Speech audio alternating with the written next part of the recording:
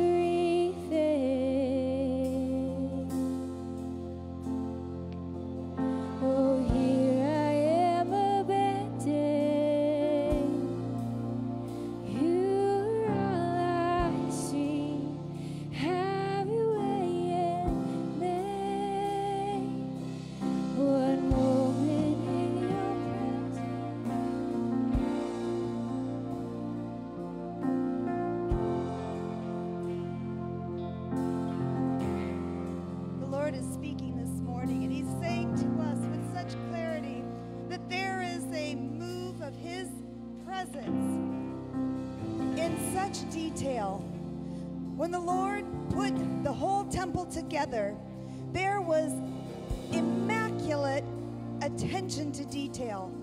Every measurement, every corner, every inch, every dimension was meticulously recorded and planned. And that is what the Lord is doing in our lives in this day. Are not caught into a thing that is so big that we don't matter. The Lord has a plan, the Lord has a purpose, the Lord has a design. He is a grand architect not just of what happens in this world, but what happens in our lives. And He cares about the details of our lives. He is putting everything together with meticulous detail. There is a fashion and a form that is going out over your life. Beginning of time when you were first fashioned and formed. The Lord spoke into life those things that He desired to accomplish in you and through you. There is a reason you are walking the earth even in this very season. The Lord has His hand on you. The Lord has designed you for this time, for this purpose. Open your hearts to Him. What He would have you to do. Let Him breathe afresh on you. Let His presence fill you. You are the temple that He has designed, and we together are part of the grand scheme of things that He wants to do in this earth. Praise God that we have a part to play. Praise God that His hand is upon you in this hour. Praise God that He has called you by name and given you something to do in His kingdom for eternity, for a purpose. Open your hearts in this day and do not shrink back from the call of God that is on you to rise up and do His will, to rise up and do His purpose, that He may have His way in this season, that He may build a glorious church that we get to be a part of, that we get to be an accomplishment in His hand, a tool and an instrument to see all the good things that He has for us in this day. It is for you. Take hold of it. Be glad in it. Rejoice in it. Run with it. You were designed for it. Go forth. Amen. Thank you, Jesus. We respond to that word.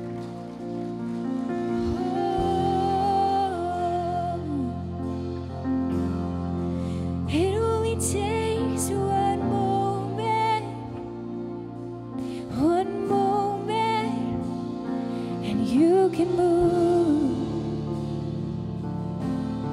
that one moment. One moment in your presence changes everything.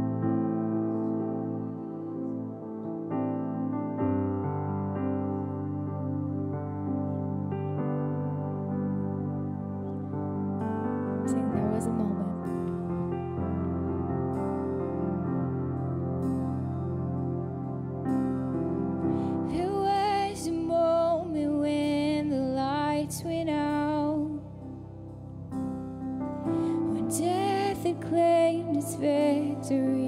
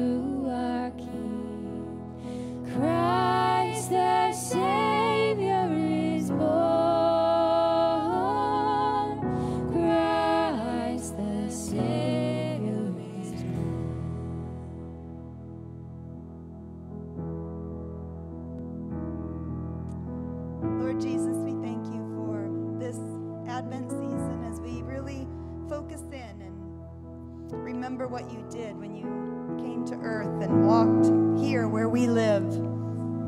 We thank you for doing that, Lord, for laying aside your heavenly glory and clothing yourself in our human, frail bodies.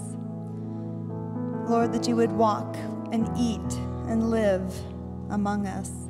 We thank you for that, Lord, and we know that because you did that, you understand our frailty and how we stand even before you today with our faults and our weaknesses and our human frailty before you, Lord. And we ask that you would touch each person, Lord, that you would touch us, that you would strengthen us, that you would give us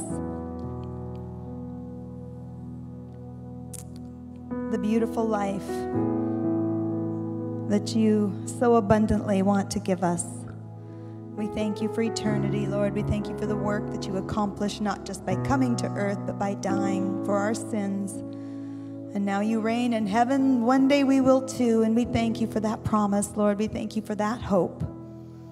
And we honor you this day and in this special season. In your name we pray. Everyone said, Amen. You may be seated. Good morning, church, and good morning, everyone at home. I just want to say a special hello to those of you who are at home. We do not forget you. And we're thinking of you even especially today, and we hope that you really feel the presence of the Lord filling your living room or your little home office or wherever you are watching virtually today. And we just pray that you have felt part of us here, that the Holy Spirit has touched you, ministered to you, and has strengthened you even this very Sunday. We have a great word for you today. Pastor Jeff is going to preach. Before he does, I want to show you a great little book. We have a present for you. How many of you love presents? Because it's Christmas, we love presents, yes? Well, everybody knows it's more blessed to give than receive, and we want to give you a present. And these are for you from us for free. Woohoo! Because it's a present. This is called Starving. Okay, it's a book that is not just a devotional book that you read, but this is actually a pretty intense workbook that you go through day by day for 21 days. Every January, we do a time of prayer and fasting as a body together. Our whole church does it. And we fast, we pray, we do corporate gatherings. We have a great soup and bread fellowship that um, hopefully we'll be able to do that too. We'll see. Everything is we'll see these days, right? However, one thing I do know God is always with us, God is always moving, God is always working in us. And this is one of the ways He wants to work in us. We're going to do this as a church. When I say we're going to do this as a church, I say we are going to do this as a church. Okay? This isn't just a nice little gift to send you home with. This is something that we're doing together as Rock Point Church, all of us. Every single one of us. Everybody put your finger right here and say, That means me. Yep, it means you. And you're going to thoroughly enjoy it. Some of you are thinking, oh no, not one of those little books that I have to get my pink highlighter out and put little circles and squares and hearts and all that. No, it's way more than that. I call this a hard book, but it isn't difficult, okay? It is hard. It's going to change you. It's going to demand your attention. It's going to demand you to get into the Word. Right now, I would say this world is starving. We are hungry for the presence of God. And we need more than ever to starve ourselves of the things that are not feeding us, that are actually causing some malnutrition in our lives, bloated bellies. And we need to starve ourselves of those things and to feed and feast on the Lord, His Word. And so during this time, we're also going to eat the Word. We have Bible reading guides. You're going to be reading the Bible through. I know that some of you, one person even texted me a picture of their Bible reading guide all filled out almost a month ahead of time. They were done. I was so impressed in a nice way. Not impressed like, whoa, but like awesome.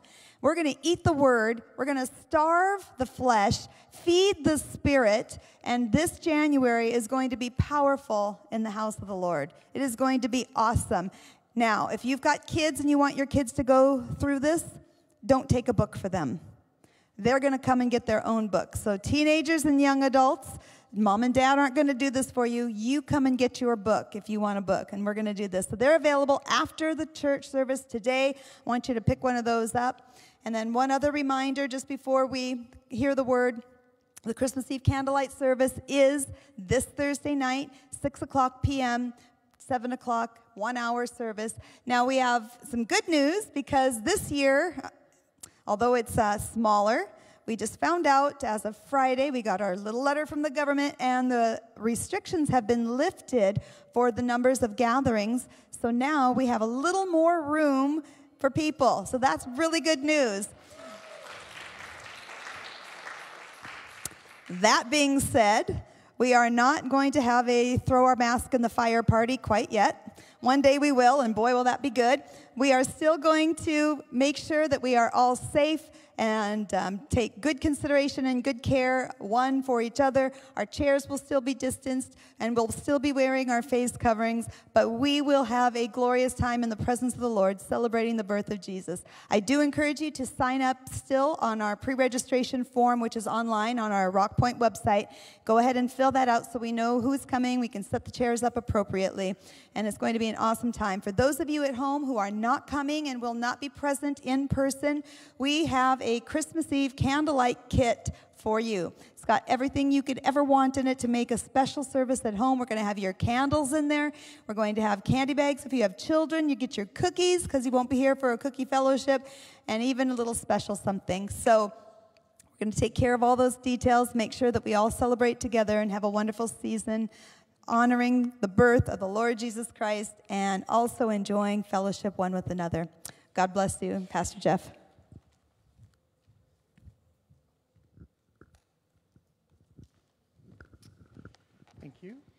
Hey. Woo. Thank you, thank you. Is that on? Test one, two. We're good? Praise the Lord. Test. Yeah, those uh, kits are with the candles for you and your kids to start a fire at home. You know, lots of fun. Let's turn in our Bibles today. Uh, we're going to go to Matthew 2. And I just got to say a few things. Uh, hey, about the uh, uh, candlelight service, we're going to have special guests, and she's at the back. Uh, Abigail Olson is going to be um, ministering.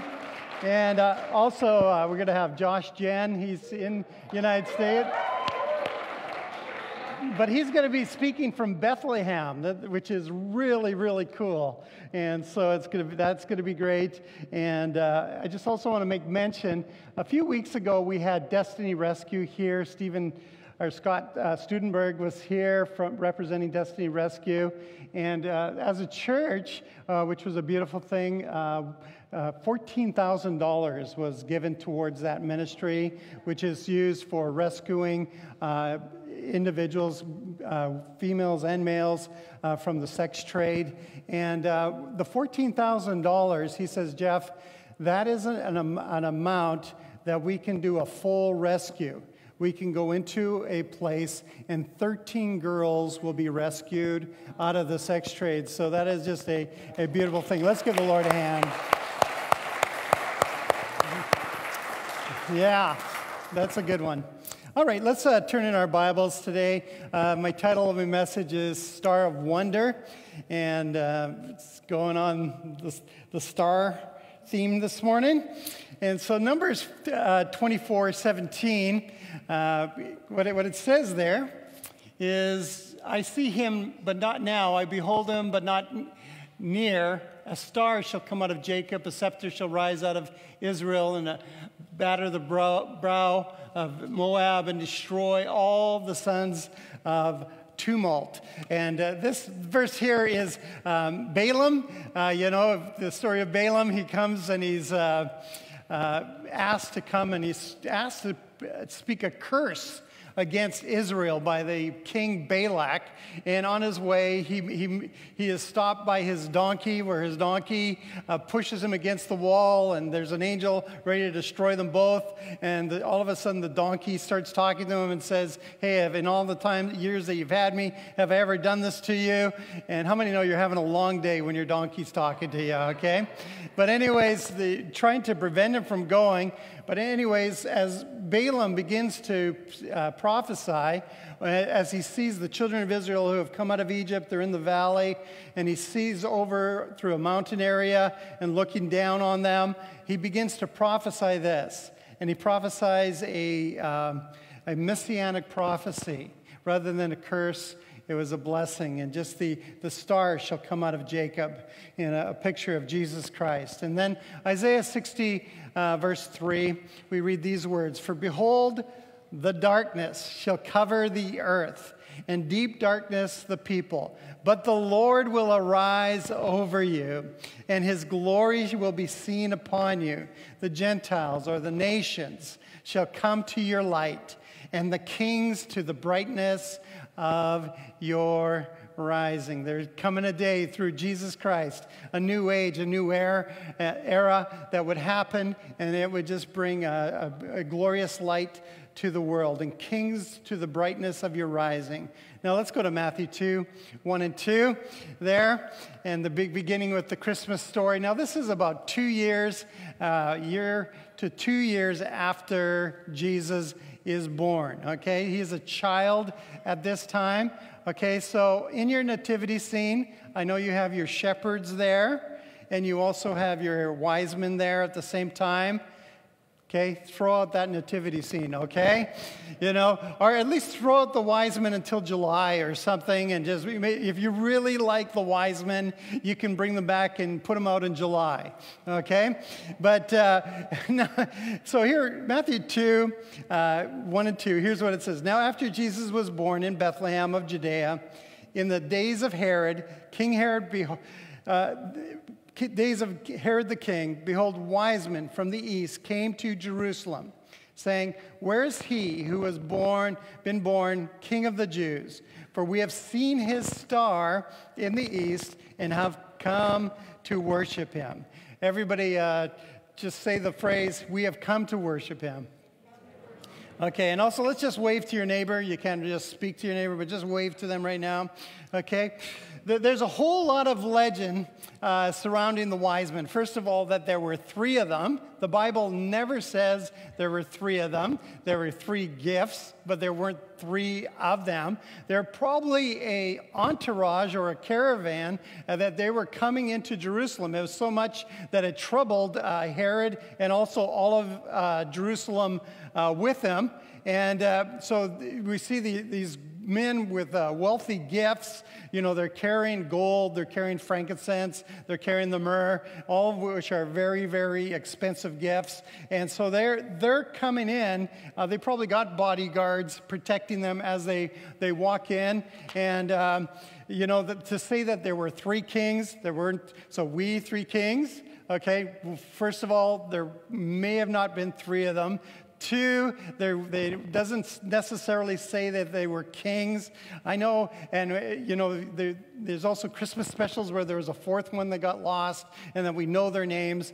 If you like that, that is fine. That is up to you, but that is just folklore. Okay, that is not uh, in the the Bible. And historically. Um, Historically, the, the wise men are, uh, the, the word that is used here in the Greek is magi okay, which really were like a priestly tribe, um, a religious caste in Persia.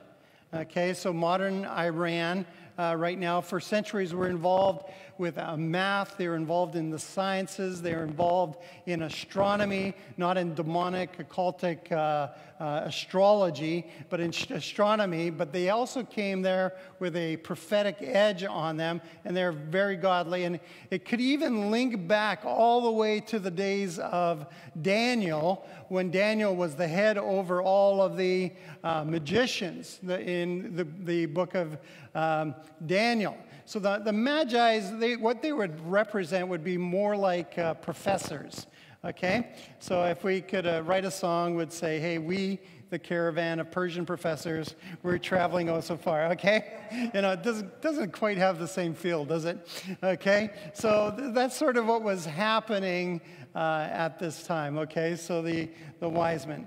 Well, uh, all of a sudden we have this star, okay? Uh, and go, I want to say this hey, God is arranging things to bring you to the place so you are at the feet of Jesus. Okay? God is arranging things to bring you to a place so you're at the feet of Jesus. You know, in the Bible, there's a number of things that uh, can baffle you. How did the Red Sea split? Is Noah's Ark on Mount Ararat or on the mountains of Ararat? I would say yes. And how did Jonah survive in the great fish? You know, and then did Adam have a belly button? You know, these questions can be answered, okay? Okay, how did the star get the Magi from the east to Jerusalem? It doesn't uh, say that it led them. Uh, or went before them. Uh, uh, again, like we three kings, it only says they saw a star in the east. It came to, from Jerusalem. How did the star go before them? Uh, even in that little five mile trek from Jerusalem to Bethlehem.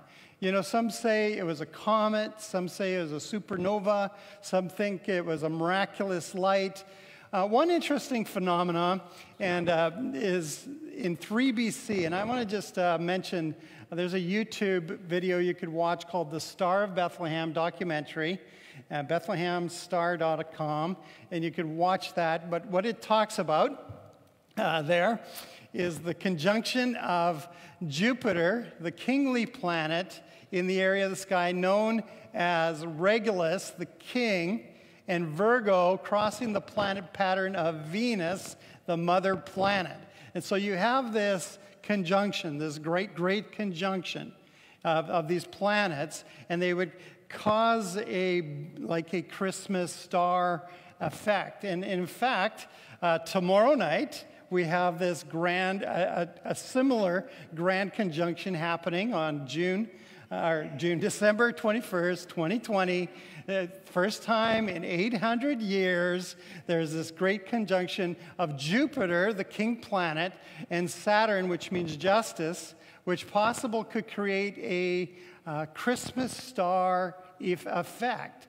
So if you're to look if you lived in Southern California or Phoenix or Mexico, you could probably see it. It's going to be pretty cloudy, but in the west and the southwest cloud, just after dusk tomorrow, just when it gets dark, about an hour after uh, this, the sun has dropped, uh, you, you, could see it in the, in the skies. It's the first time since 1226, and it could have like a Christmas effect. And so there we go. We probably won't see it here in Oregon just because of the clouds, uh, but what a lifetime experience that is, okay? But for the, for the Magi, how they, they translated this in a symbolic manner.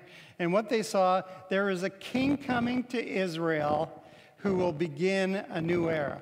And that, that's how they translated it. That this would be the king of the Jews. And possibly, uh, you know, you're, you're thinking, okay, what, what was the science of it? But even more important than the science of it was the who and the why. And the, the, the thing on this one, the all creation uh, declares the glory of the Lord. And the, the, it is really the who is God Himself. God is putting it all together the galaxies and the, the solar system, the nature, the creation, all of it coming together. And the, that brings us to okay, why was it brought together? And conjunction, junction, what is your function? you know, what is the purpose of this grand conjunction?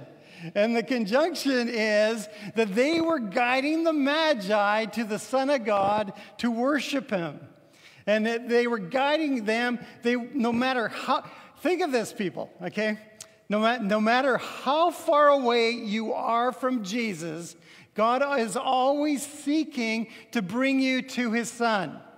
No matter how, here they are, 500 to 1,000 miles away, and God was making a way for the nations these foreign people, these foreign individuals who were not Jews, for the nations to come and worship him. That was God. God was drawing and bringing them. It, think of the nations around the world. God is seeking ways to bring them. in the Muslim countries right now, there are many individuals. There's a really a revival that is occurring right now in Iran. And many men and women are having dreams of Jesus and, and, and, and pictured of the gospel being preached to them in dreams. And they're receiving Christ and then coming into a group of fellowship and being discipled. God is seeking ways to bring people to the feet of Jesus. You know, if, if you're in a situation right now and you've been distanced from God in any form or any fashion, God is seeking ways to bring you close to Him. We can't forget the purpose of what God has in store. He desires for you to know Him and to worship Him. That is what God is doing. God is guiding people to worship Him. He will exert global and universal influence. He will move the stars of the sky and the planets in the, the solar system to bring you to a place of worship. That is what the God Almighty will do. You know, Luke 2 1 through 4, we read these words here. And it came to pass in those days, and this is the other Christmas part of the Christmas story, and this is happening probably about a, a year and a half to two years before uh, what we're reading in the Gospel of Matthew in Matthew 2. And it came to pass in those days that, okay, here we go. there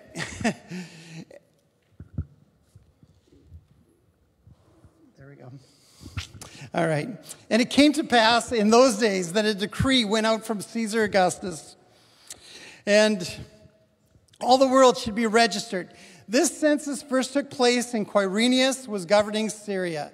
So all went to be registered, everyone in his own city. Joseph also went up from the Galilee out of the city of Nazareth into Judea to the city of David, which is called Bethlehem, because he was the, of the house and lineage of David, to be registered with Mary, his betrothed wife, they're engaged, who was with child. You know, what God shows us in, in Luke 2 is he's not only moving creation around, he is moving history around. He is, he is working uh, with world history. And so God used uh, a tax time for his, his purposes. How many know God can use tax time for his purposes?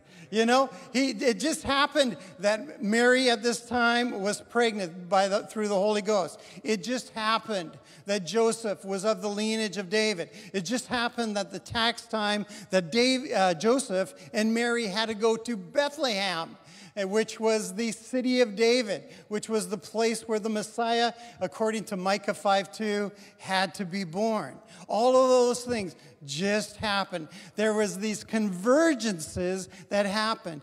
And I look at every one of our lives, there just are some just happened to happen.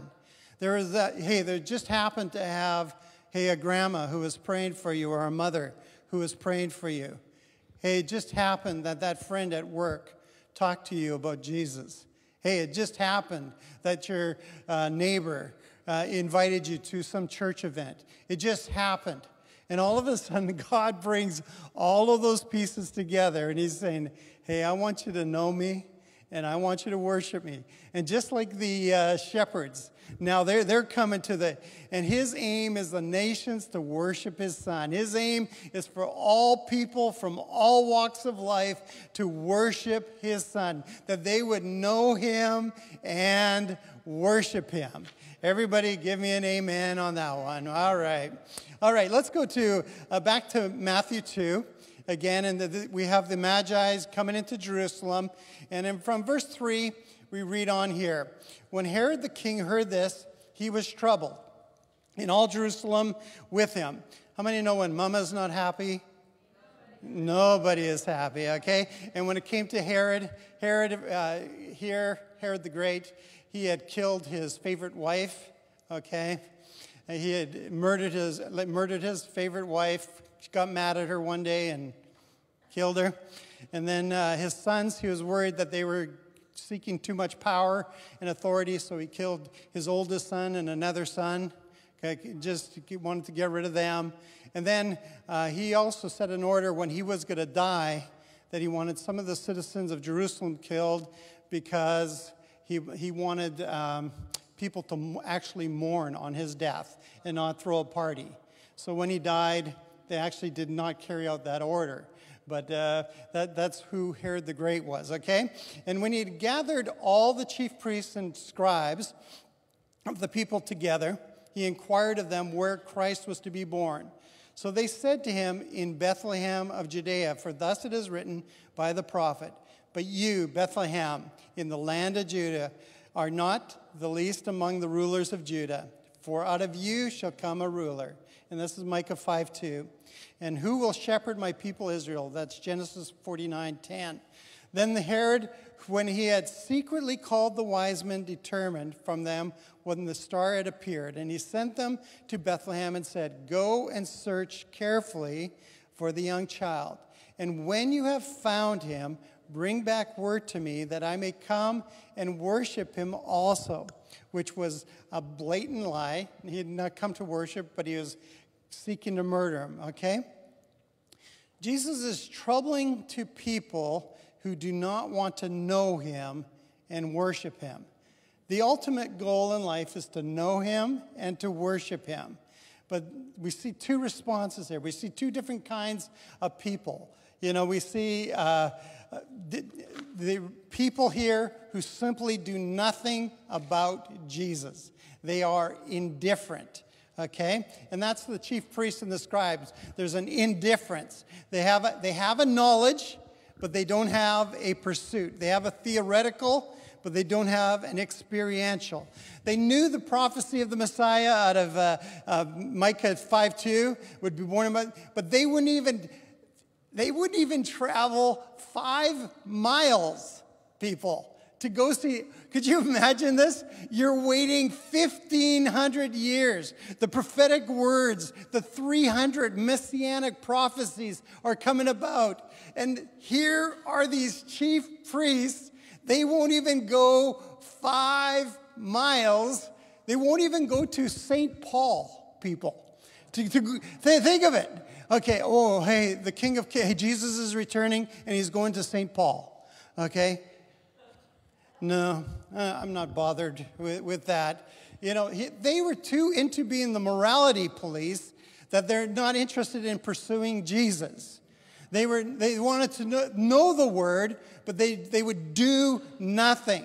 There was this sheer silence, is deafening, and inactivity shouts of shouts out at you. You know, here's the, the greatest event of all time the, the, ex, the expectation and desire of the ages, the hope of Israel, the blessed Son of David, the Messiah, the Savior, the Redeemer of the people Israel, the fulfillment of 300 prophecies.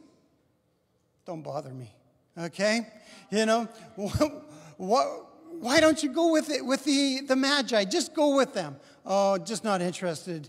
You know, I, a number of years ago, I had a really humbling experience. was in India a number of years ago for a conference, and there were these um, pastors from Nepal, okay, that had come to the conference to southern India. These guys would jump on a train from Nepal, four days on a train, just not.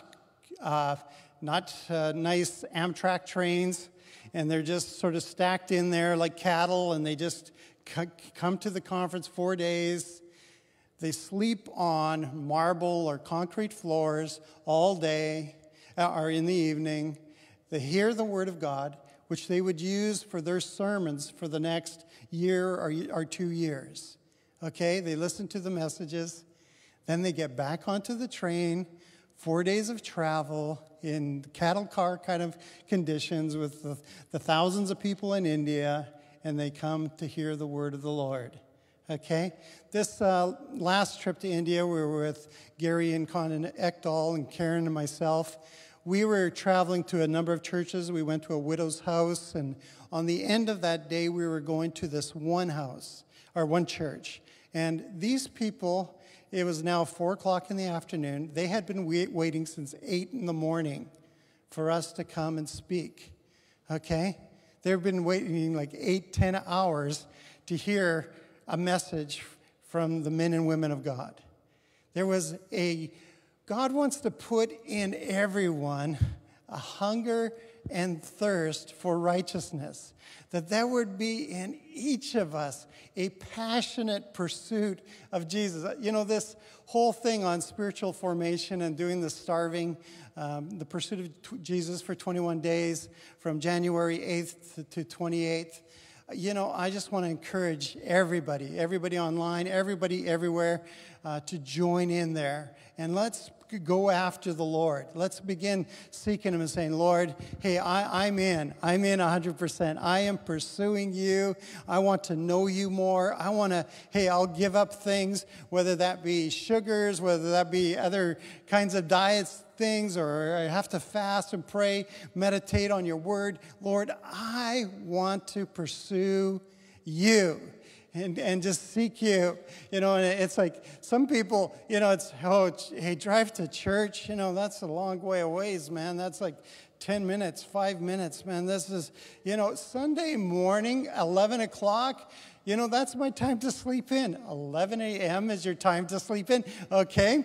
And it's my relaxed time. You know, hey, I'm going to just uh, watch a few, few football games.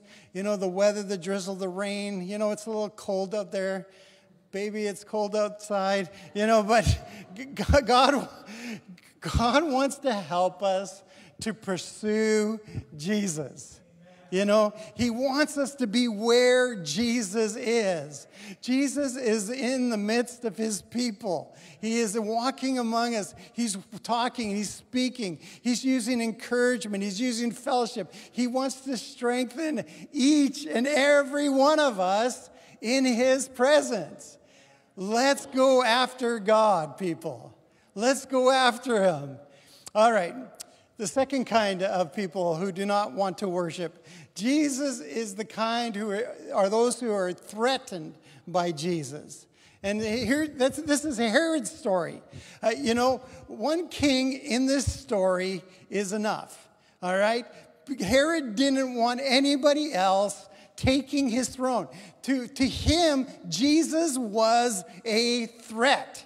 You know, you are not going to sit on that throne. And I, I think that's sort of what we all wrestle with and battle with at given times in our life is we say, God, you I do not want you to rule and reign in that area in my life. I don't want you to talk to me about my, my, my personal life you know, my private life, those things that are those secret things in my life. Lord, I don't want you to touch those. I want to rule in those dimensions. And I remember, how many remember some of the old evangelistic skits they used to have? How many remember uh, the, the, the one they'd always do is the romance one with the clay heart. And you'd have a red clay heart, and you'd have a, a, a boy, and you'd have a girl, and you would have the, the girl would have the heart, right? And the boy would come and he would take the girl's clay heart, okay? The red clay heart.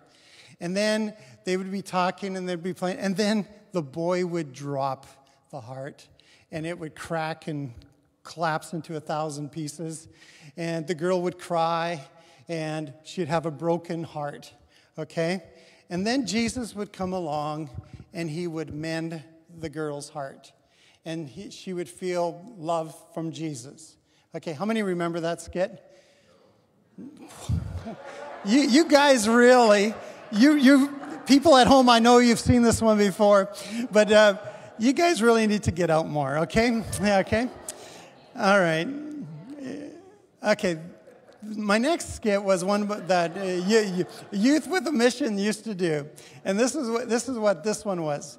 The Youth with a Mission one was called The Kingdom of Self. and they would have you on the throne.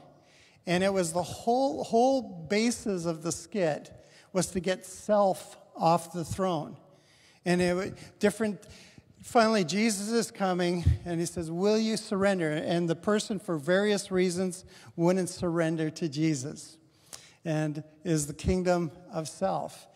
And in the Christian life, there comes a point where it's not my will, but it is His will be done. You know, on earth as it is in heaven, Lord, your will be done. And there needs to be a prayer in our heart where we die daily. We take up our cross. We follow Jesus. We say, God, I am going off the throne. You are taking over every compartment, every department of, of my life. Hey, my finances, my sex life, my relationships, my friendships, my marriage, all of those areas. Jesus, you reign in those areas. You, I belong to you, and I surrender my life and heart into the, in those areas. And so you have the indifference of the priest, chief priest, but then you have the indignant uh, in, the, in King Herod.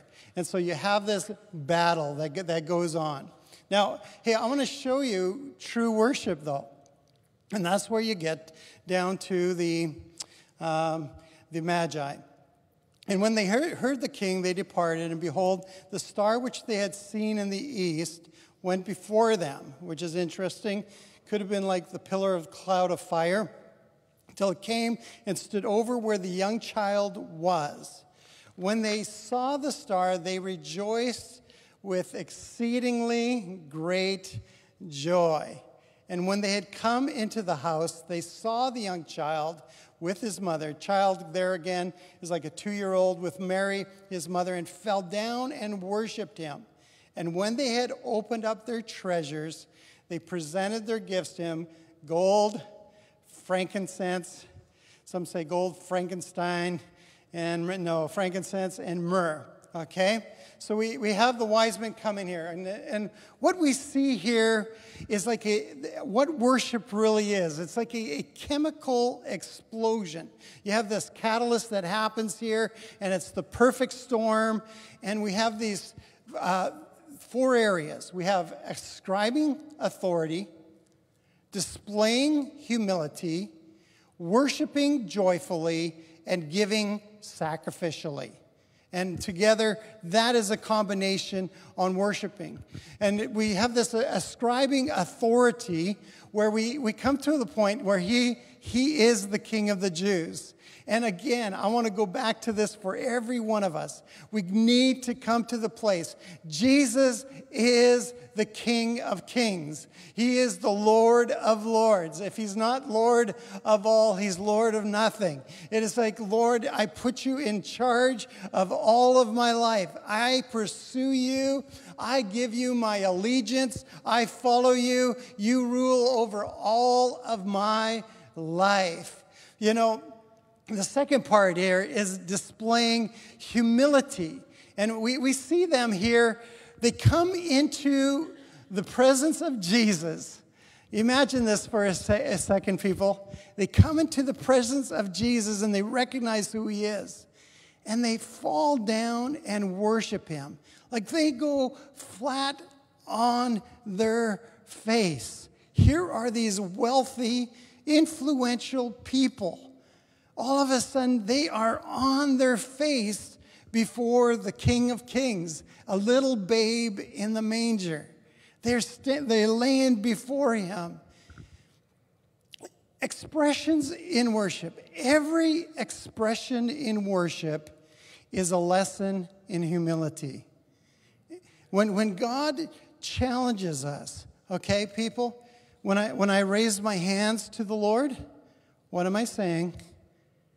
I'm saying, Lord, hey, I surrender. Okay? Lord, I'm yielding my life.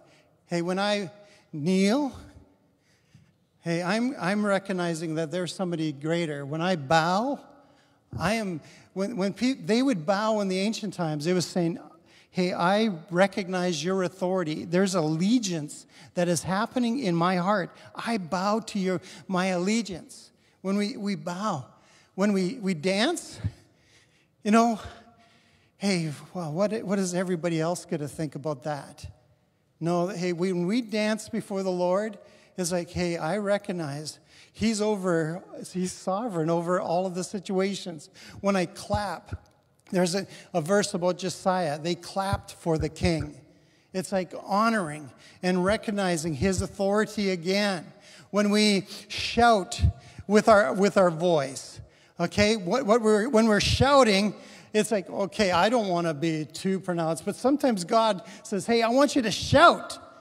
And it's times we, we lift our and we play instruments. All every expression of worship is an act of humility. And God, it's not, hey, well, I just don't do that. What God is working on in every worship session, people, when we are together worshiping the Lord, what He is working in your heart and my heart, He is working in your life humility. He's working in hey, the breaking of our pride and our own self will to a place where we say, God, you're number one, you're first, and I surrender, and I'm a, I'm, Uh, there's an allegiance on my heart to you. Okay? And here's the next one we worship joyfully. You know, and I, I, like this one here. He not only rejoices, you know, he, re, he doesn't just rejoice with joy. He doesn't, he doesn't just rejoice with great joy. There is a rejoicing with exceedingly with great joy. They are very, very, very, very, very happy about the king. More happy than a new car no more happy than possessions, more happy than a new home, more happy than a grandchild, more happy than a football game, more happy than the Christmas gift that you're about to receive this week. That there is such joy about Jesus. We're not, we're not talking about just the low hills people here. We're not talking about the foothills. We're talking about the, the grand mount, mountains like Mount Everest here. We're not talking about one scoop of ice cream, people here. We're not talking about two scoops of ice cream. We're talking about three scoops of ice cream.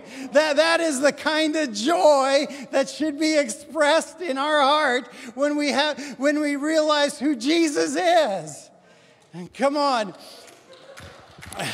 Yeah, yeah. Depression is anger gone inward. Depression is anger gone inward. It's anger, it's dissatisfaction, it's unmet expectations. And in that depression, somehow we need to learn to yield that. And when things just don't go our way, Lord, I surrender that to you. Worship or joy is grace in our life dancing. It's all of a sudden, hey, the presence of Jesus is flooding my heart, it's flooding my soul. Lord, I need to release your, your presence and joy in my life.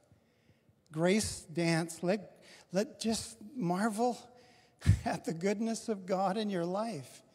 Begin to give thanks to the Lord. Begin to rejoice of all of His goodness in your life. Don't allow those spiritual clouds that the devil wants to just sow into your heart take you down. Allow a spirit of rejoicing to flow. Lord, there's some wonderful aquifers that are coming all the way from uh, Mount Hood that are flowing underneath the ground and those are underground rivers. And beautiful thing on our honeymoon, Karen and I, we went to a place called Anderson Island. Anderson Island is out in the Puget Sound, and uh, there's a bunch of cabins there. But they're in on that island, in the middle of the Puget Sound, is two freshwater lakes in the middle of the Puget Sound. All around is salt water. But there, from the aquifers that come through the Cascades, underneath fresh water. I tell you, we could be so sour this year. We could be so mad with everything that has happened or isn't happening. I, I know that, hey, 2020, you know, we, we got one more week, guys, we're going to make it, okay?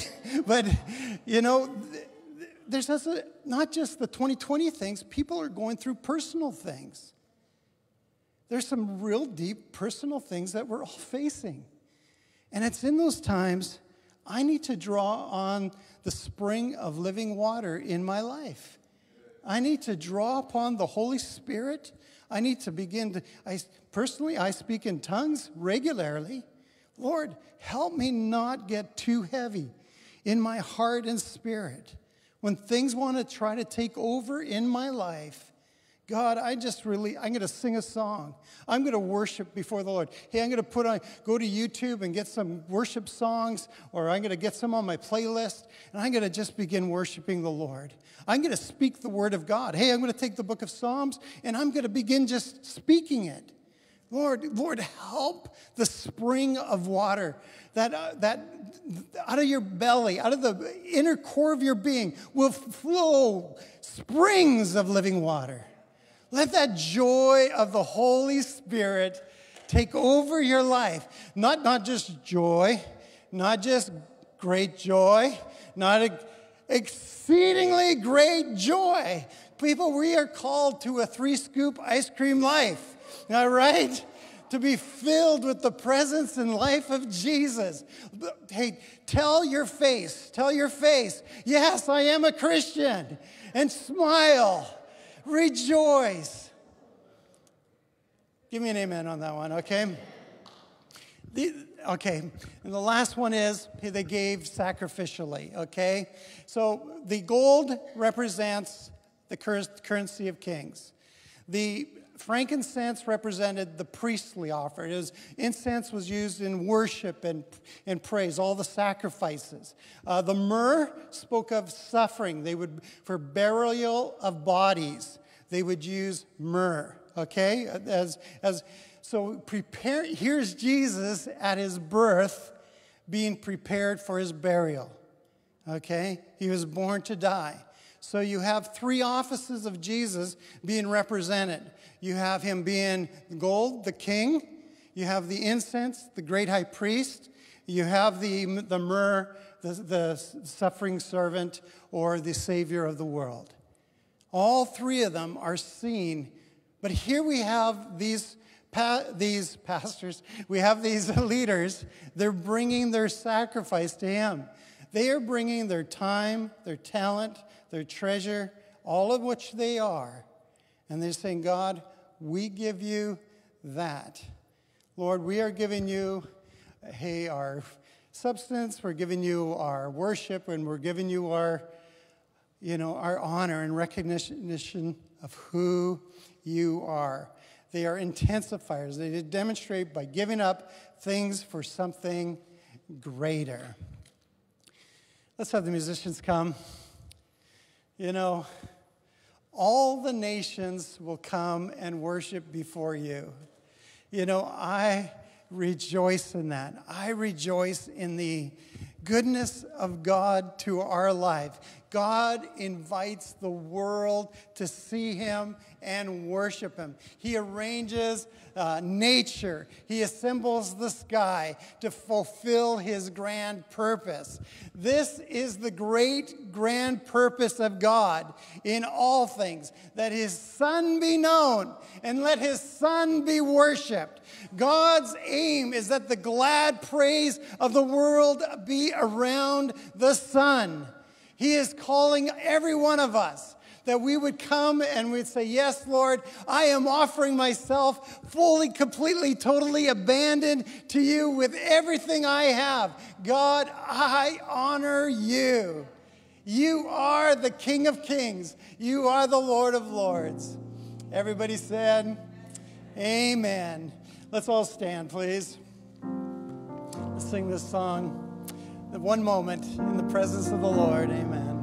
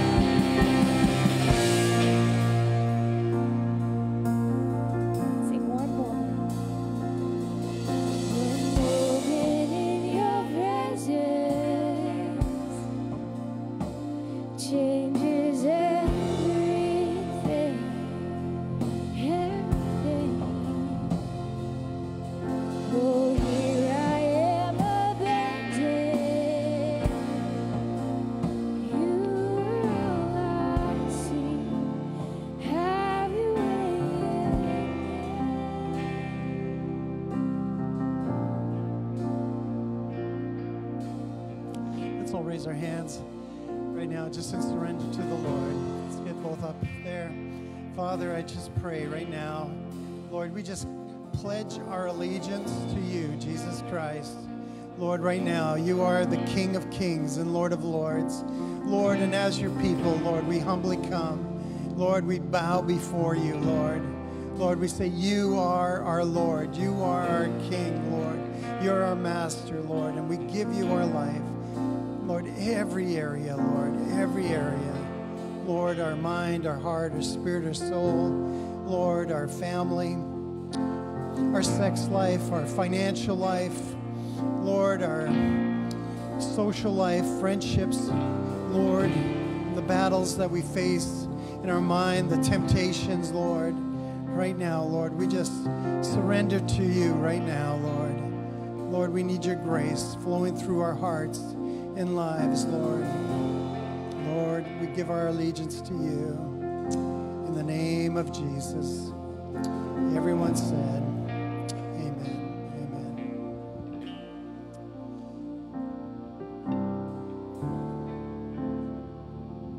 Amen. Great word today.